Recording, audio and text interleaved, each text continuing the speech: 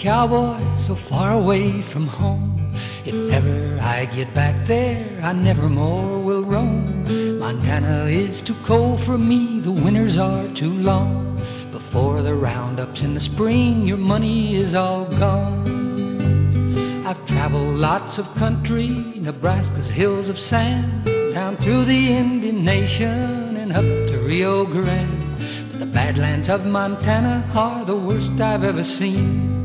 Cowboys are all tenderfeet and the dogies are all lean. If you wanna see some Badlands, go over on the drive. You'll bog down in the coulees where the mountains reach the sky. A tenderfoot to guide you who never knows the way. You're playing in the best of luck if you eat once a day. Your grub is bread and bacon and coffee black as ink. Water's full of alkali, it's hardly fit to drink.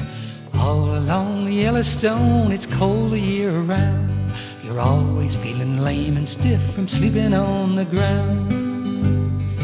Work up in Montana, it's six months in the year. When all your bills are settled, there's nothing left for beer. Work in Arizona lasts all the year round, you won't get consumption from sleeping on the ground. Come all you desert cowboys and warning take from me.